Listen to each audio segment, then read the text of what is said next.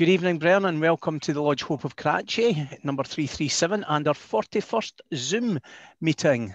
Uh, it's a big number, and we're getting close to Christmas, uh. Uh, this is the third Tuesday in December, and I thought as Santa Claus is just round the door, that the speaker this evening could maybe talk to us about a subject that may just touch on the Christmas story in some, uh, maybe some way. However, before I introduce Worshipful Brother Mike Neville, can I remind you all of the Grand Lodge of Scotland guidelines that please keep your cameras on and a legible name in the screen so I know who you are. If you do have to go out, off because of bandwidth issues, then just drop me a little message. As ever, can I ask you to sign the virtual tile on our Facebook pages?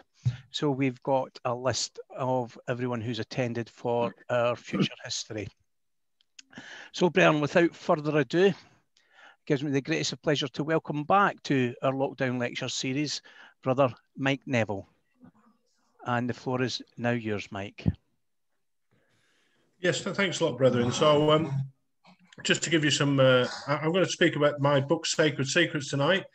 Uh, one thing I would say, though, is my commitment to Scotland. Here is my, uh, here's my tam o' shanter. Look at this.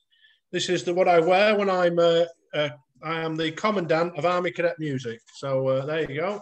So there's a donation for charity. It'll go to the um, music cadets up, up in Scotland because there's some excellent pipe bands and some excellent uh, military bands.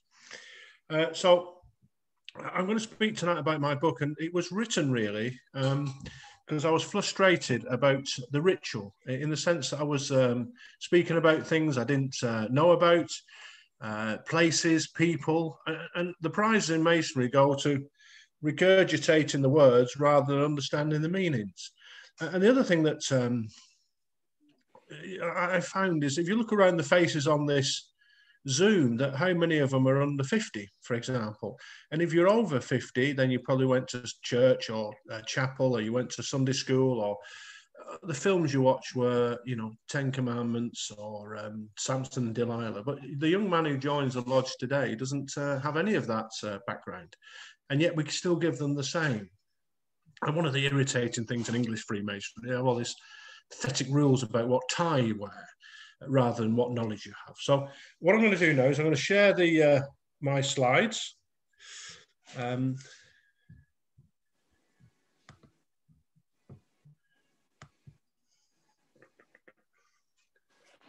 uh,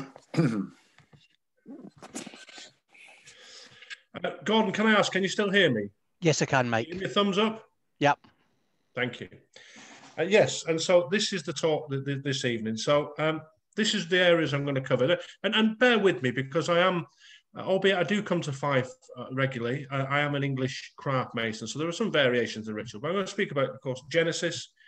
Uh, secondly, uh, Exodus and the battles to secure Israel uh, the kingdom and the temple, uh, the death of uh, Solomon, uh, the New Testament. So Gordon alluded to like the Christmas story. So there is, uh, you know, we're supposed to, we're supposed to be de-Christianized in England in 1813. They didn't do a very good job.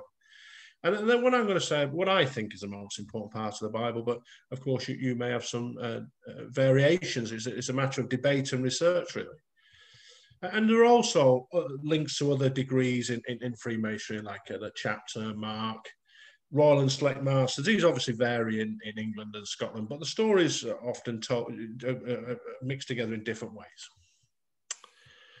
Um, so, the book of Genesis, and I always say the first book of the Bible because you'd be surprised to know how many young Masons don't really know that at all. But if we were to delve into it and, and to go into our, um, to look into a, a craft ritual, who would be the first, in chronological order, who would be the first character from the Bible to appear in craft ritual.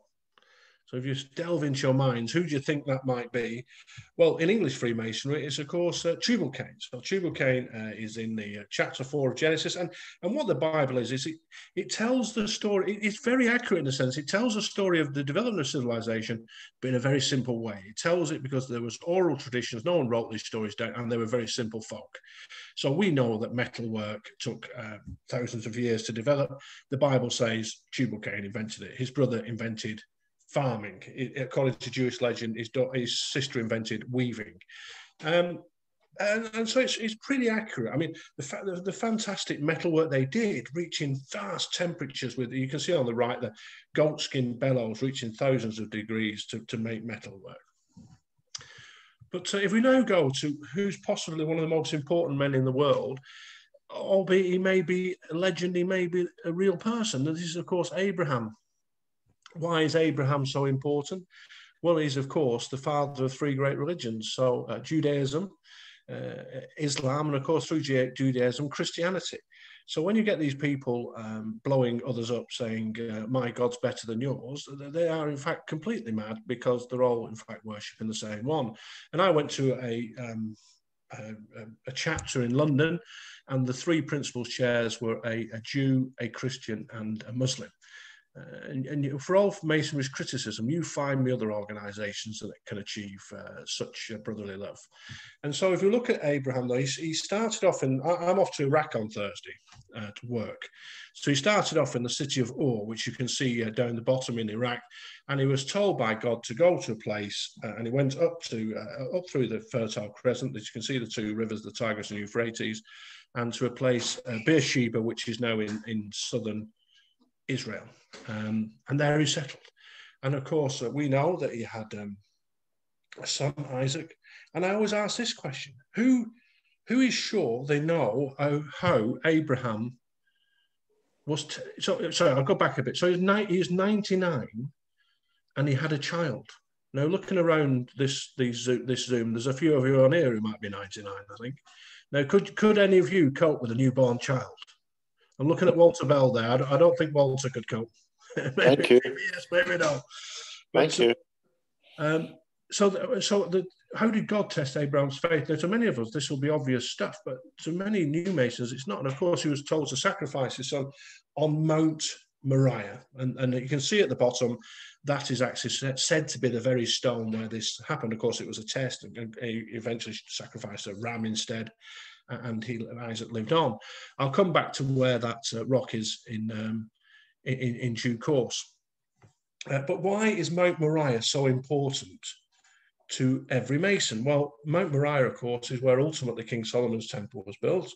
And then the second temple under Zerubbabel. So every time we do our little playlets, the degrees, one, two, three, and, and chapter and mark, we're pretending to be on Mount Moriah. That's where we're pretending to be. And just to show you how the Bible has influence on the world today. So uh, this is the story of the origin of the Ammonites. Now, the Ammonites in English, which I'm sure in Scottish as well, they appear on the second degree tracing board. Is this is this right? In Scotland? Do they? Yes, no? You tell me. So the so the Ammonites, um, have a nice evening. Sorry, my wife's just nipping out for dinner. Um, so the Ammonites in the Bible, they're almost like the, the baddies. Um, if you like Doctor Who, they're a bit like the Daleks. They always kick off, they always nearly win, get beaten, and, but they always come back for another go. If you like Sherlock Holmes, they're the Moriarty of the affair. But the Ammonites, what it said about the Ammonites is that um, Lot, who was Abraham's um, Abraham's nephew, he lived near Sodom and Gomorrah. His uh, uh, his daughters they, they witnessed the destruction of the cities by fire and brimstone, his daughters, seeing this, thought the end of the world had come. There'd be no more um, uh, men. So they had sex with their father. Uh, and this product of this incest was Ben Ammon, the father of the Ammonites. So what the uh, Bible is saying that these people are scum, really, and they deserve to die. It justifies killing them, really.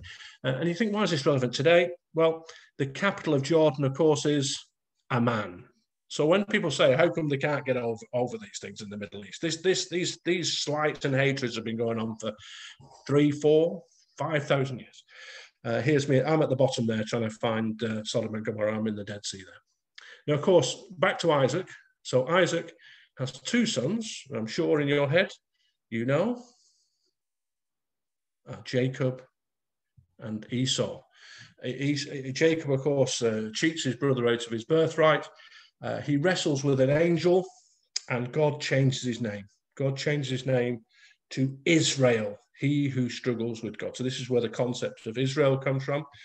Uh, and um, if you look in the center, that's an English uh, Holy Royal Arch chapter. The staves, the banners, uh, either side, 12, they represent the 12 tribes of Israel. And who, how are they uh, linked to Jacob? Well, they are 10 sons and two grandsons. There's, a, there's a, a, missing son, which is Joseph, him of the Technicolor Dream, Dreamcoat uh, fame. Uh, and um, there's his ladder on the first degree trace board on the left. But um, what happens is, of course, remember the story, Joseph helps the Pharaoh stay the famine. And of course, all the family come to Egypt. And that's where Joseph and Jacob die. And this is the end of the book of Genesis. And we move on now to uh, Exodus. Exodus, of course, by the time of it, and if we remember, uh, for those old enough, if you remember Charlton Heston and Yul Brynner, this is where we find ourselves with the Ten Commandments right now. And, and so, um, and, and this is six, gener- six or seven generations after uh, Joseph. Um, and they've forgotten how the Hebrews helped them, and the um, the consequences are that they're used as slaves. So, uh, and if you remember the story of Moses, so the, uh, the, there's getting too many Hebrews, so they decide to kill all the babies.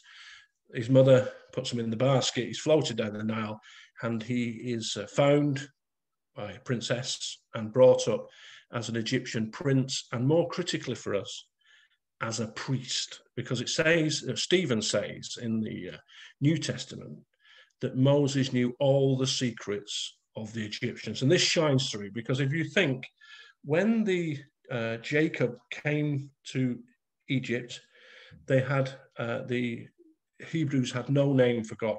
They called him El Shaddai, God Almighty. They had no rituals and rites and ceremonies, no formal dress, no temple. And suddenly they go into Egypt, and all these all these uh, things become start to be taken in. So, for example, when we say, "Where were you first prepared to be made a Freemason?" we say, "In my heart." Well, that is an ancient Egyptian belief. The, the heart is the truth. Uh, the heart is a repository of truth and wisdom. When you were mummified, they took out your heart and put it into a gold pot. When uh, they pulled out your brain and flung it in the bin because it's rubbish. And so when we go so uh, to a chapter meeting in England or a, a communion service, holy communion service in uh, by the English prayer book, it says cleanse the thoughts of our hearts, which is weird, really. It should say cleanse the thoughts of our heads. But th- this is an ancient Egyptian belief which has gone from ancient Egyptian into Judaism, into Christianity, into Freemasonry. So these are the ones. now, if you remember that um, at about 40, the uh, Moses had a midlife crisis, but there was no sports cars to be bought in those days. So he uh, he, he, had a fight with a uh, with an Egyptian uh, slave driver, killed him, uh, and fled into the wilderness of Sinai. Uh, and of course, the God appeared before the burning bush. Now, on the left-hand side, that is me in St. Catherine's Monastery. I don't know if you've been there. This is the foot of Mount Sinai. Uh, and that is what. Helena identified as the burning bush. That very bush. Uh, what I found amusing, though, is that um, by the side of it is a fire extinguisher. Uh, so if God appears today, health and safety will do for him. He'll, he'll be put out. That's the thing. So, but God told him his name. Now, what did God uh, say his name was? Well, it's in Hebrew, it's YHWH. Okay, you put vowels into that and you get Yahweh, or if you translate it like Tyndale, you get Jehovah. But what does it mean? What does that word mean? Well, it means I am that I am. That's what that word YHWH, there's no vowels in, in, Hebrew, of course.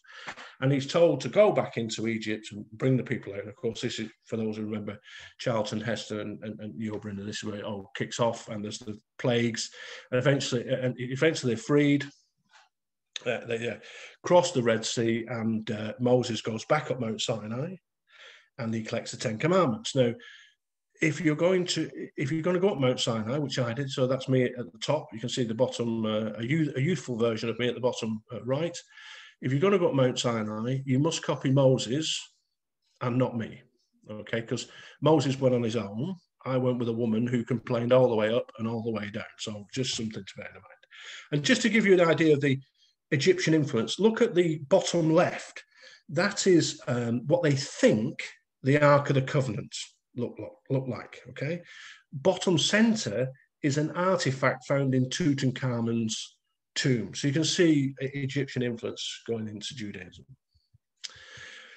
And here is when we talk about uh, tent or tabernacle, this is a model, and that is a tent or tabernacle. This is a model of it in, in Israel today. And of course, what was guided by. So again, you have to bear with me because in the English second degree ritual, it says the two pillars of King Solomon's temple modeled on the pillars of fire and cloud, which guided the Israelites through the, the, the, desert. So the pillar of fire and cloud guided them through. And when it stopped, they had to put up the mobile temple, and in it, uh, they put the um, Ark of the Covenant right at the back beyond three veils. So who built it? And, and again, in English chapter ritual, we say their names all the time, but people often say these things without any meaning. So who built it? Well, it was, of course, Aholiab and Bezalel. They're the ones who built it, and that's what it looked like. Okay, so Moses though dies. He's he's not allowed to enter the promised land. His brother Aaron as well dies, and so that's the end of them. Who takes over? Joshua. Now Joshua is a, is a name. It, if you read the Bible, it's often in the old versions it's translated as Jesus because Joshua, Jeshua, and Jesus are all the same name. It's like Michael, Mick, Mike, and Mikey. They're all variants of the same. Okay, but Joshua was a good soldier. Uh, he was an Ephraimite. If second degree, they were told the Ephraimites are, are, are, are violent, or they, they, they're good. They're, they're good soldiers, clamorous and turbulent people.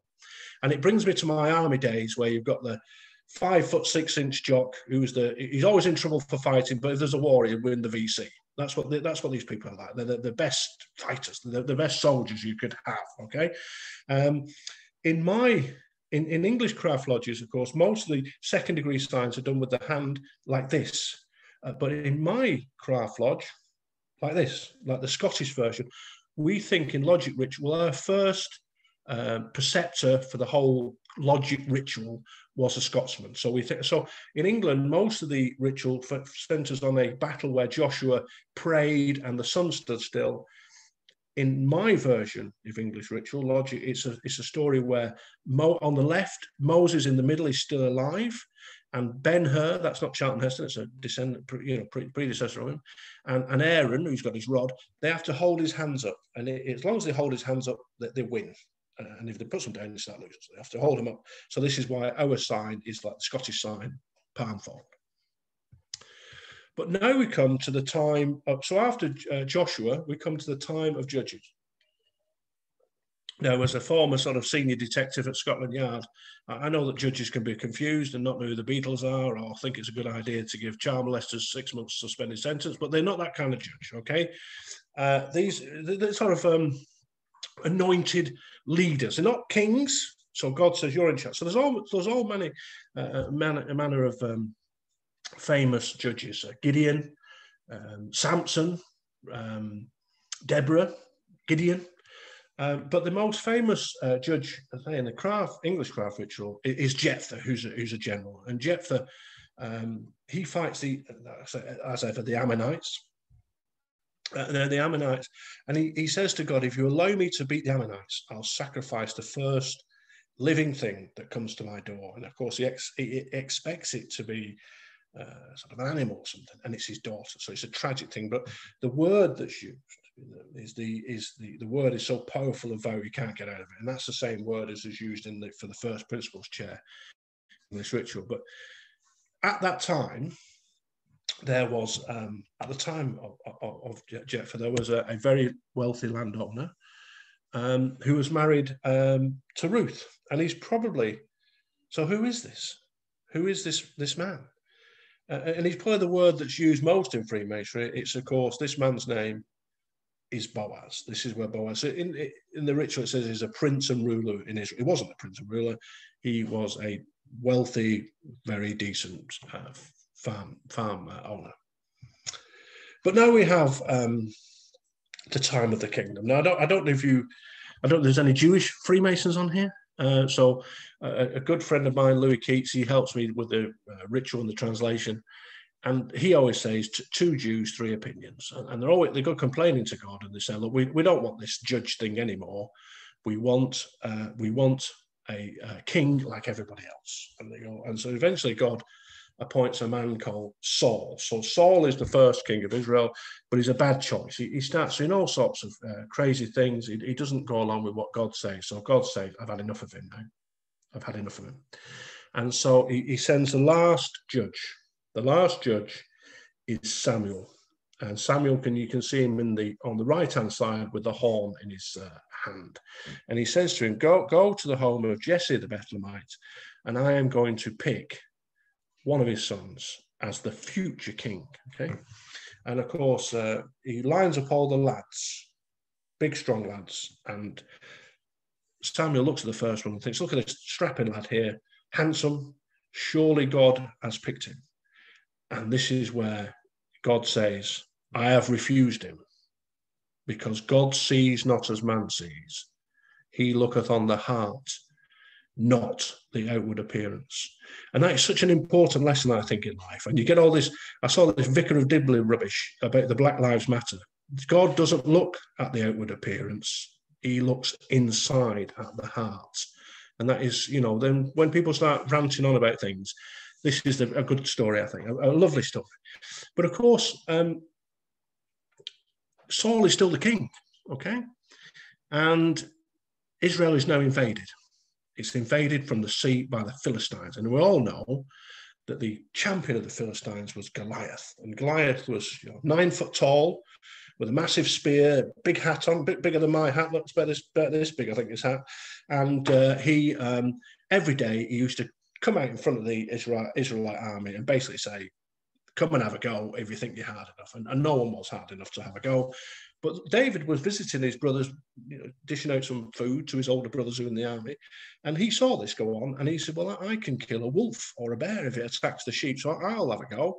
And of course, he try and put on Saul's armor, but it's a disaster. It doesn't work.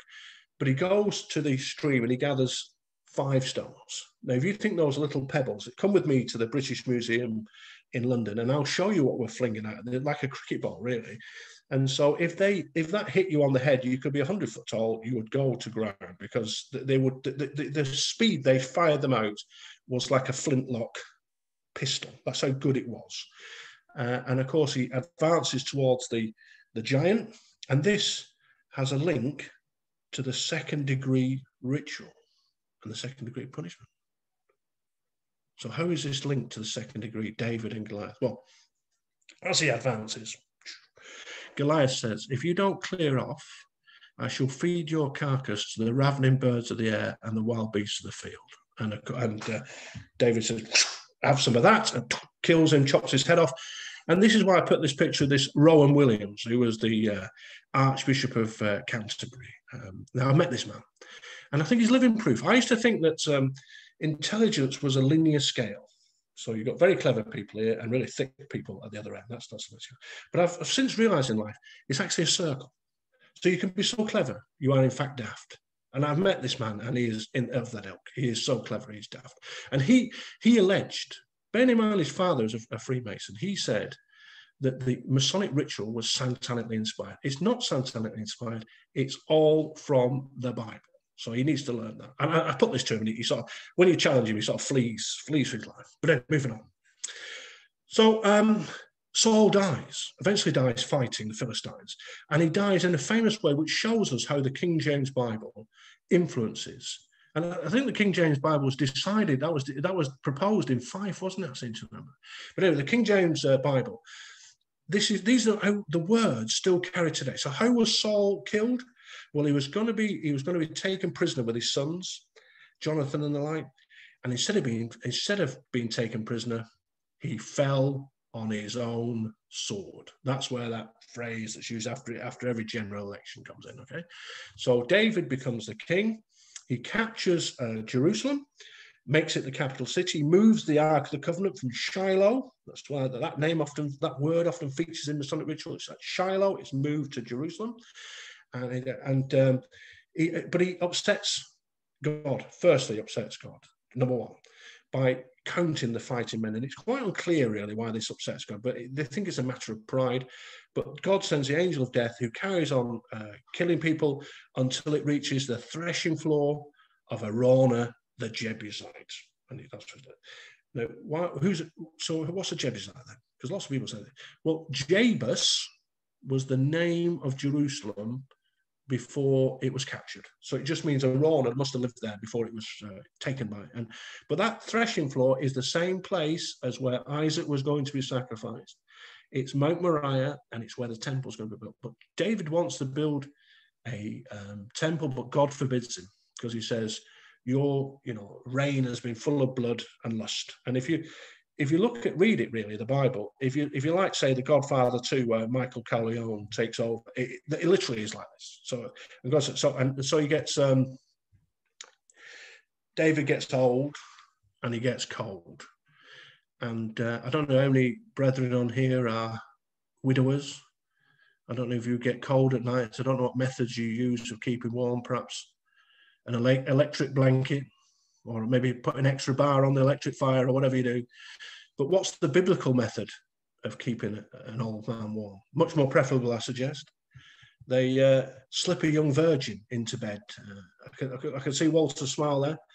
This is the unfortunately named Abishag. Um, but the that uh, that nothing happened. So, but it, it's the finish of him. It's the way to go, I suggest. But uh, who writes this stuff? But uh, but there we are. So King David's dead, and after some shenanigans, of course, uh, Solomon becomes the king, and Solomon builds uh, the temple. What do we know about the temple? Very little, really, if you look at the Bible. So it tells us about the two pillars, names them. It tells us about the uh, the, the, the brazen sea, which is a big ball of water in, in front. The idea, though, and this is mentioned in the English second degree tracing board about people worshipping like it's a church. It's not like that at all. You worship outside, it's hot weather. The inside is for the Ark of the Covenant. So the Ark of the Covenant you can see there, which contains a pot of manna, Aaron's rod, uh, and the writings uh, of the law. That's all. That's that's right at the back. Okay. Now um, there are no uh, globes on the pillars. What they think was on the top of the pillars is a galuth, uh, which is a bowl where you put some oil in it and set fire to it. So it looks like the pillar of fire or cloud, depending if it's day or day or night. But where, where is the um, Ark of the Covenant now?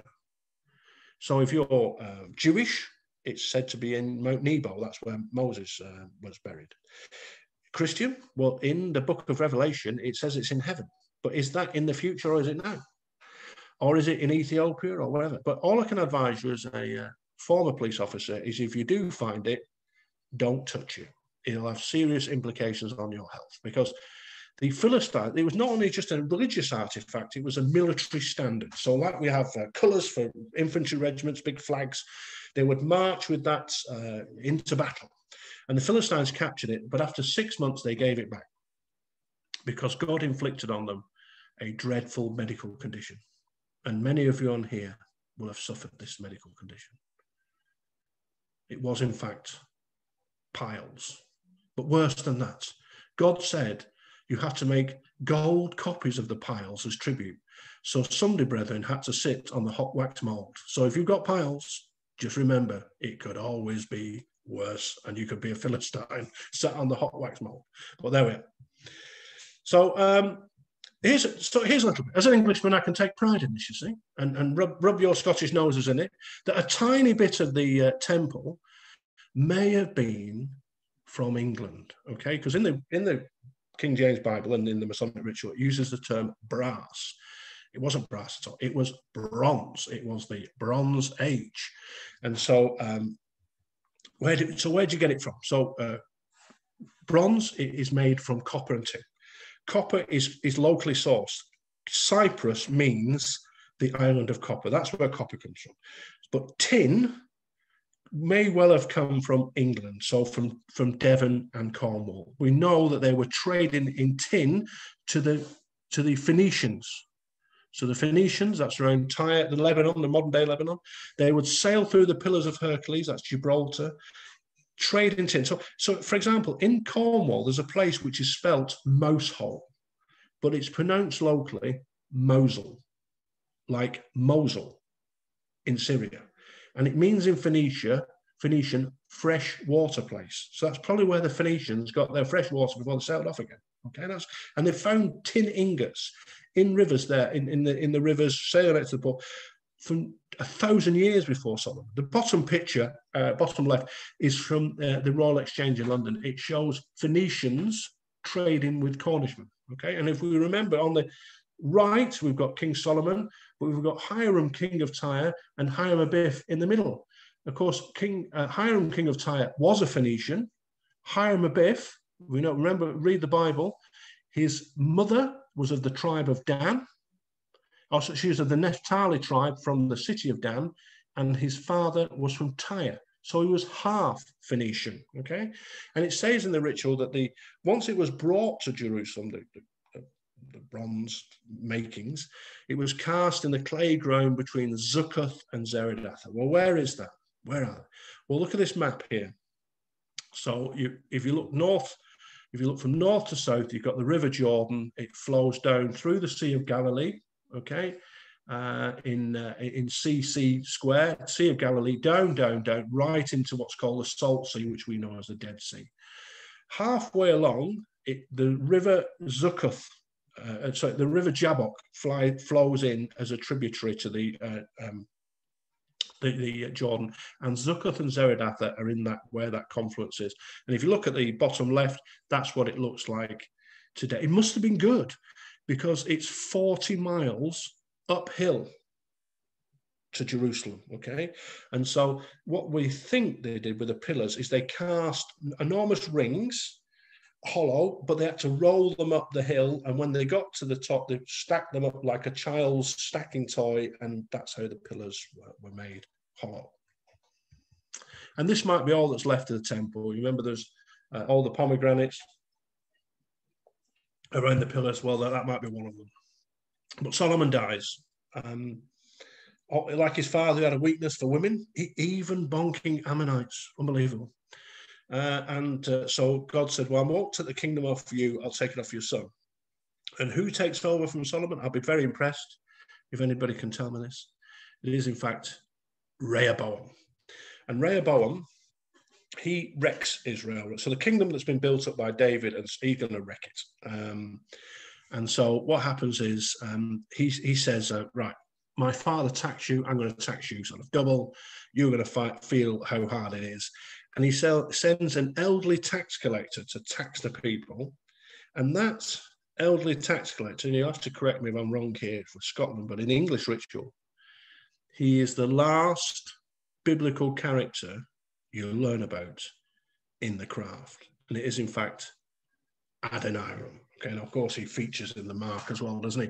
Adoniram, you can see him in the um, uh, in the right hand side. So he dies a good death for a Mark Mason. They stone him to death. That, that's the finish of him.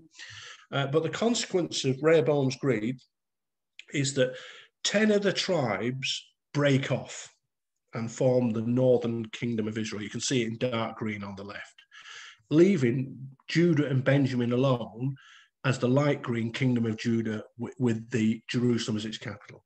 The dark green bit eventually become the Samaritans. Uh, but they're, they're, they're constantly feuding. It's like um, North and South Korea. Uh, but while they're feuding, they, are filled with they're covered by enemies. You can see on the left in grey, the, the Philistines are there, yeah. Uh, the Ammonites in light blue, okay. But worst of all, in the north in dark blue, the Assyrians. The Assyrians are the SS of the Bible. They're absolutely brutal. They rule by fear. Every, they publicise it. Uh, they kill people brutally. If you go to the British Museum, uh, on their friezes, it's got pictures of them throwing uh, catch, playing catch with other people's heads. You know, and putting people up on stakes and all sorts of. But this is how they rule by fear, and they threaten the uh, kingdom of Israel. And eventually, despite all the warnings of the prophets, eventually they're, they're, taken away and they take them away and they mix them in with all the other um, Assyrian uh, parts. And this is why uh, the uh, basically the, the, Jew, the, the Judeans say, well, you, are you're bastards, really. You're all mixed up. You're not, you're not part. So this is where the hatred between the um, Jews and Samaritans uh, would eventually come from. So the North conquered, uh, but a greater power is no bigger and better than Assyria is now uh, mobilizing itself. Very short lived, only about 70 years. But the next great power in the Middle East is the Babylonians. Okay, so the Babylonian Empire, you can see Babylon here. So it stretches the entire first Fertile Crescent. And again, you'll have to for, forgive me if I get this slightly wrong, but in, in the English chapter ritual, what happens is uh, what what's we're told is that the um, the Babylonians capture Jerusalem quite quickly Uh, they take away the king, Jehoiakim, uh, and take away his, his household to Babylon. And what they do, they install his uncle, who's called Mattaniah, uh, on the throne in Jerusalem. They say, look, you now work for the Babylonian Empire. Uh, if you mess us around, we'll come and kill you. You, you, you absolutely loyal to us. And to make you aware of this loyalty, we'll change your name to Zedekiah, which means the justice of Jehovah, which you will get if you cross us. But the moment they're gone, Zedekiah cuts into the neighboring empire of Egypt and tries to make a deal that they'll help him push the Babylonians out. So the, the Babylonians get wind of this and they send a mighty army under a man called Nebuzaradan. Now, if you're wondering why everybody in Babylon seems to have a sort of Nebuchadnezzar, Nebuzaradan down there, Nebu is a god. So it's like a prefix to your to, to your name, like being called Sinclair or something like that, St. John or whatever. Um, and we know these events are real. In the middle that piece of pottery in the middle is a message sent during the Babylonian invasion. And it says on it, it sort of wrecks the chapter story really, because it says, I hope our Lord Jehovah sends peace. It's a message sent at the time between two army commanders, Israel commanders.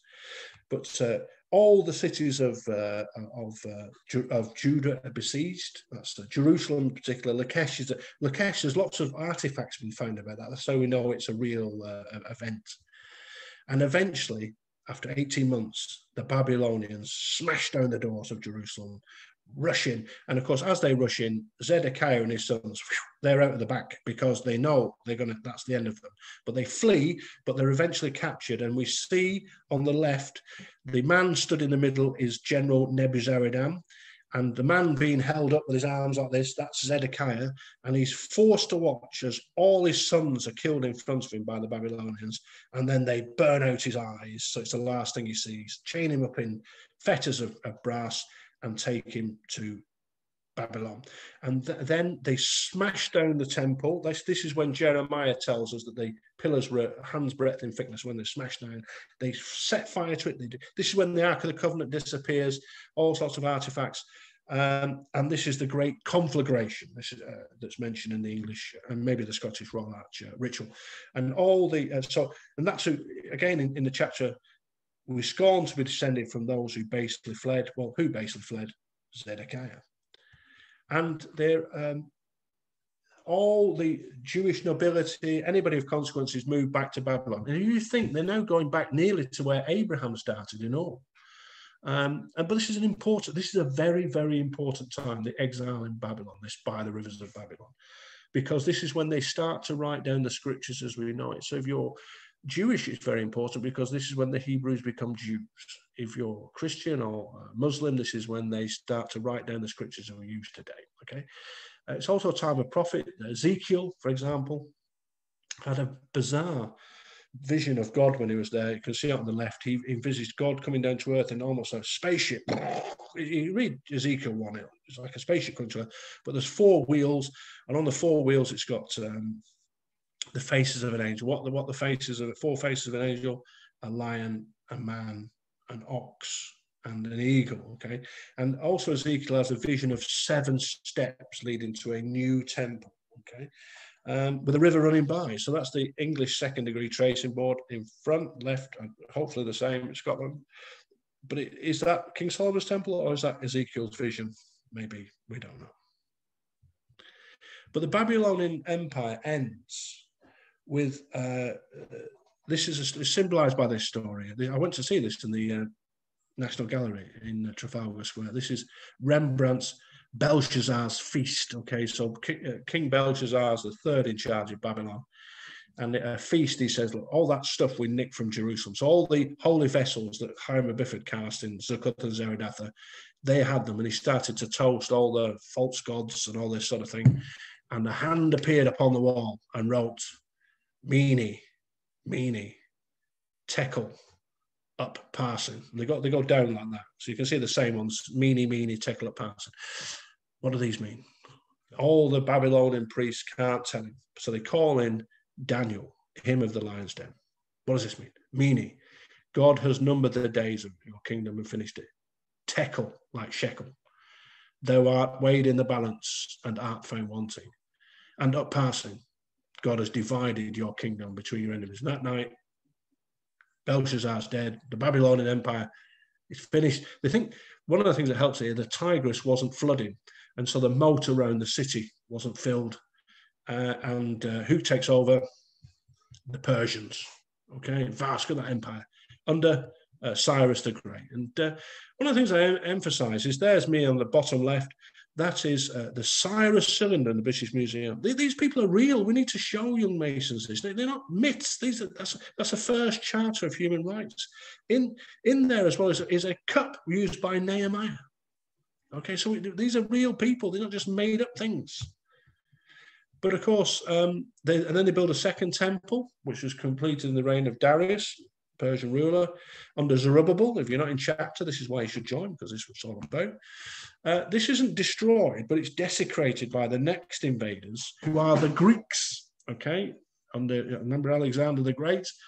Uh, and they, this ends up in a Maccabean revolt, and there's an independent Jewish state for 100 years until the coming of the next invaders, of course, the Romans. Now we get to the you know, story of, of Christianity. It's uh, very relevant with Christmas. And of course, in the middle there, that's a model of what the second temple looked like. Now, that is the extensions to it were done by Herod. So, of course, in the nativity story, Herod is a is a, baddie, but he actually, as far as the temple goes, he, he, he did a good job in extending it. But that's the same temple where Jesus uh, turned out the moneylenders. Of course, we could do with him back with all this Wonga.com and all those greedy swines, couldn't we, really? Uh, but this is the te- this temple wasn't going to last. Uh, in there was a, another revolt in 70 AD. Titus, who you can see on the right, was then a, a general, eventually became the emperor. He um, destroyed the temple. They don't think he meant to do it really, but somebody probably threw a firebrand in there, set fire to it. But what's interesting is all the money gold and they nicked from Jerusalem. That's what financed the building of the Colosseum in Rome. Okay. And if you look on the bottom left, that's me in front of the Arch of Titus in Rome, in the ancient city. And there's the frieze in the middle where you can see that this is, if you remember Ben Hur, uh, when they have the big parade with the the, uh, the victorious consul. This is the same. They have their parade, and oh, look, the soldiers are carrying the menorah candlestick. Okay, the square thing on the right with the two crosses like that, the cross things like that, that's the trumpets of Jericho. The square thing is the table of the showbread where the, the ritual bread was placed in the Holy of Holies. That was made of gold. So you can see that six soldiers are carrying it. Okay. And the menorah candlestick. So when the state of Israel used that as their emblem, that's on the right. So that's in Jerusalem. They copied it that's the only one of the only pictures in the world of the menorah candlestick on the Arch of Titus in Rome. And what would we see if we went back to Jerusalem today?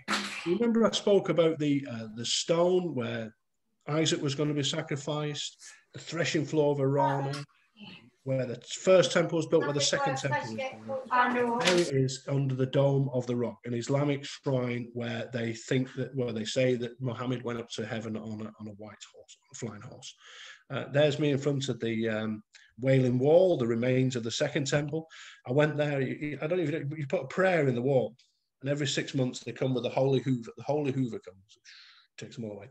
But when I was there, I put my prayer in the wall, and I was trying to be all religious and uh, a very pious uh, Jew was there, you know, praying against the wall like this, and his phone went off. It had the Star Wars theme. It sort of ruined the moment. So if you do go to the uh, Wailing Wall, do do turn off your mobile phone. Um, and so, in conclusion, brethren, the um, I hope I've shown you that that rock that's in Genesis. It's there now. You know, you can go and see it, go and touch it. I recommend these things. Some parts of the Bible, uh, of the ritual, of Masonic ritual, are incorrect. You know, there's no globes at the top of the pillars and this sort of stuff. But of course, Freemasonry is veiled in allegory and illustrated by symbols, which means you can make any old nonsense up you want and you'll just have to accept it.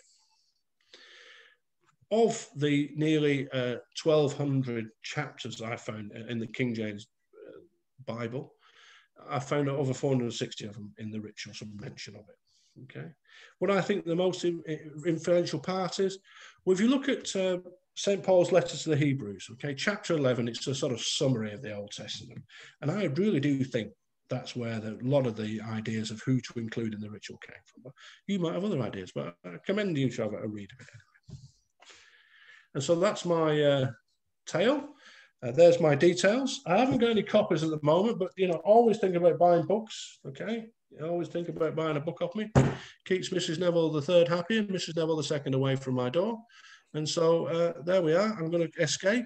And I do lots of these lectures. There's lots of other ones. So if you do want any more, the cost is a donation to a charity of my choice.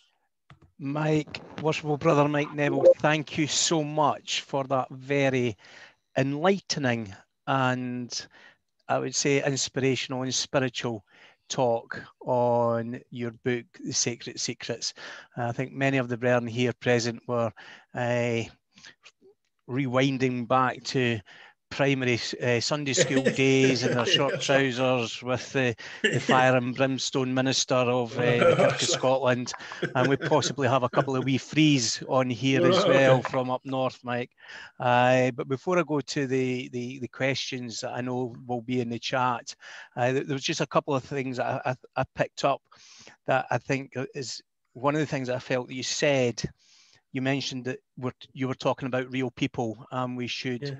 talk to our young masons uh, about these re real people and i think that's something that we probably don't do enough and the, the other one was when you were talking about uh, the bronze and i'm not sure if you uh, and i'm sure you are you've been a retired uh, policeman, uh, the the the infamy of Scotland's third national drink. Obviously, we've got whiskey and Irn-Bru, but then there is the Buckfast, and okay. uh, Buckfast Abbey was right in the centre uh, of where that bronze was coming from. So yeah, who knows? Yeah. They might have all been high on the Buckfast when they went back. Uh, overseas or that's what gave them the sustenance to uh, for that journey back but uh, so, Mike, going to the, the questions, let's have a yeah. quick scan down to see what we've got. I did see one, uh, a couple coming in there.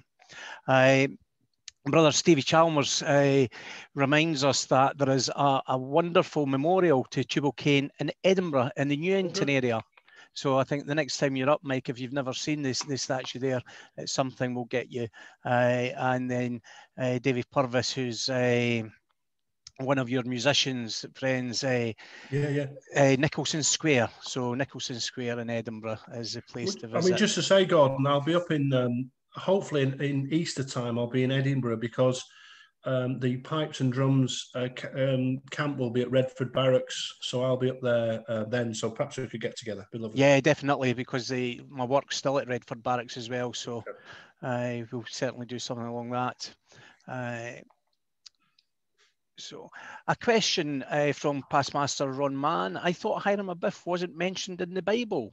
Uh, oh, no, no, absolutely. So, what? So, sorry, God. So, he's mentioned in, in Kings and Chronicles feature the same things. Uh, uh, uh, Chronicles is like is like Kings with the dirty bits and horrible bits taken out. and what you've got in in uh, Kings is Hiram Abiff, okay, and in um, the Chronicles is Huram with a U. That's because there is no vowels, so you have to, you know, it's like saying, you know, where I come from in Bolton, they say book, uh, and it, it, it, down in the south they said book, you know, because there's no, you wouldn't know if it's Hebrew. Uh, the a biff they think means abai, abai. So my daughter is Abigail, which means a father's joy. Abi is father. So the, what they think Hiram Abiff means is uh, not dad, but Hiram, the man I respect, a father figure. So definitely mention, and it clearly says, as I say, his mother of the tribe of Naphtali from the place of Dan, which if you look on my maps is in the north, and his father was from Tyre. So he had his mother's religion, but his father's, people from Tyre were very skilled at making things. One of the things, like what the reason we have purple robes for emperors, they were skilled at mixing the dye from sea slugs it was easy to make red and blue, but not make purple. That's why purple was so rare. So the people of, of Tyre were very skilled craftsmen in engraving, in dyes, in woodwork. So absolutely mentioned in those books, uh, Kings and Chronicles. Mm-hmm. Okay. Uh, David Brown, the Right Worship Master Lodge number 76. I've thought for a long time that a ritual assumes a level of biblical knowledge that our candidates, like people generally, no longer have as Brother Neville shows, we may have to think about imparting that knowledge ourselves. So, Gordon, I agree. So, what I would say to that is it's like in the Army cadets. So, we have a cadet who plays the bagpipes, okay? So, you have to learn a simple tune on the chanter before you move on to Scotland the Brave, before you move on to something more complicated. What we've done in Masonic ritual, we've assumed that everybody can play Scotland the Brave and moved on to very complicated stuff rather than giving them the basics. And because whereas 50 years ago, people would have come in with the basics, they're not anymore. Yeah. They don't go to church, they don't go to we, are giving them, and I find the Royal Arch the most complicated one. So that is my daughter Abigail in the background. Hello, Abigail. Welcome to the Kingdom of Fife. Uh, another one. Uh, most biblical scholars now reckon that the letter to the Hebrews was not written by Paul due to significant differences in style from the other Pauline epistles, as well as dating difficulties. What's your view on that? Absolutely. You know, you know, with, with the tax of, the some of the letters, it's hard to put them together. But up to a point, we've just got to accept these things at face value. Whoever wrote that letter, um, that's I just suggest that chapter 11 is that it's a, as I say a summary of the Old Testament, very useful for, for Freemasons. I suppose it's a bit like Jack the Ripper. It's probably better not knowing, isn't it? Really. Um, yeah, it adds the mystique and the and the and the faith. So I, I, don't disagree. We will. It's probably it may not, but we'll never know, will we? Maybe had an off day and wrote a different style. I don't know. Yeah. Oh, there are, as you would expect, Mike, a huge amount of thank you and applause for you in the chat box this evening. Uh, Stephen O'Donnell comments Hiram means born high in standard Hebrew. Uh, learned lecture. Uh, Eagle Errol Mortensen, do you get the Masonic Bible in your third degree in the UK and Scotland? Uh, I think some do. Eagles, some get presented when they go to the chair. It's very much, it's not given as standard out to anyone. Uh, I remember uh, when I went to the chair, it was my installing masters presented me with my, my own personal Masonic Bible, but yeah. others have got their own stories, how they've come across theirs. So. Uh, we, we, normally do it after the third degree, but each lodge varies, doesn't it? Really? Yeah, I think that's to do with the, the history and tradition of that lodge. So, yeah. Mike, once again, on behalf of the Lodge Hope of Kurrachee and everyone here this evening, thank you once again. Uh, you, you, are a very skilled presenter, and as a few of the, the Bren have commented on, you've got that lovely le level of humour that just at times takes edge away from a very serious subject. So thank you very much. And can I wish you, your family, the very best for the forthcoming festive season. Um, Bren, uh, before we come to the end and we unmute uh, our normal uh, announcements of what's happening next, uh, next week uh, we will have uh, Brother Andreas Önnerfors, the Master of Quatuor Coronati, with us, and he will give us an insight into the Swedish Rite. Andreas was due to be with us last week, but unfortunately he couldn't be. So he has assured me he will be with us next Tuesday evening. So we look forward to, to that. I've thought long and hard, Bern, about uh, what I should do during the intervening period between Christmas and New Year. I think uh, a few months ago I said we, we, would take a break for the Christmas period. Uh, but listening to what's happening in the world and and it comes back to what Mike was saying that there are many of us are uh, living on our own. Uh, I've felt that we should continue meeting and there will be a meeting uh, the Tuesday in between. Uh, we will dedicate that as a sort of St John's Day meeting and I, I've went to great expense. I've, uh, I've bribed a, a, a, friend of mine to get an email of a friend of a brother uh, to come along and speak to us. It's not the lecture I wanted him to speak to us about because he's not pulled that together, but he has promised that he will come back in the future and do it. However, I'm delighted that we will have the Honourable Adam Bruce come and speak to us uh, the middle Tuesday between Christmas and New Year. Uh, that, uh, for those who don't know who the Honourable Adam Bruce is, that's the son of Lord Elgin, who I'm sure you're all aware of. And uh, I think he is still in the chair of our sister research lodge, Robert Moray, through in Edinburgh. Uh, Adam works in the green revolution, uh, wind farm uh, and technology like that. But he's going to talk about industrial revolution through the green revolution and connect it to Freemasonry. So please join us uh, on that Tuesday evening. Brian, at this point, I will allow you to unmute yourselves and please give a, a warm thank you to Brother Mike Neville once again for his presentation and interpretation of Sacred Secrets. Mike, thank you so much. Uh, and a happy Hogmanay to all my brethren up in Scotland. Thank you. Absolutely fabulous tonight. Uh, thanks, Mike. Excellent. Yeah, well Thank done, Mike. for the mic. Absolutely Thank you. Brilliant. Well Thank done. you, mate. Absolutely Well done. Gordon.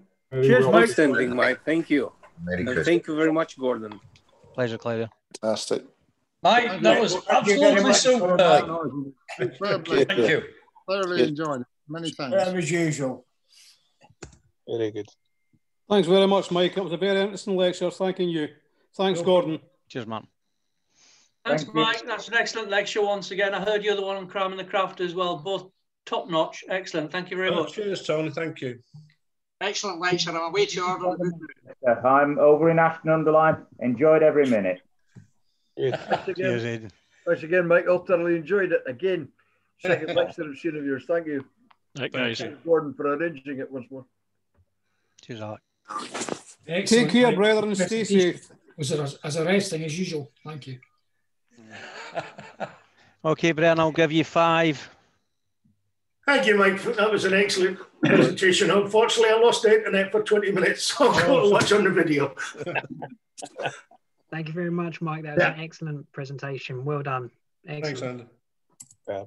Yeah, yeah. Thank you, mate. Thank you, Gordon. And wish you all, brethren, a very, very safe mm-hmm. Christmas time. Thank Cheers, you, Brian. brother. Thank you, Brother Brian. I'll give you four. right, I'm going to go for my dinner. So I've got Right. to. See, I'll see you all. That's it. Four, Good night, everybody. Stay safe. Bye. two, Well done, one. Mike. Thank you, mate. All the best. See you next time, Mike. Well done, Yeah. Gordon. Thanks, Gordon.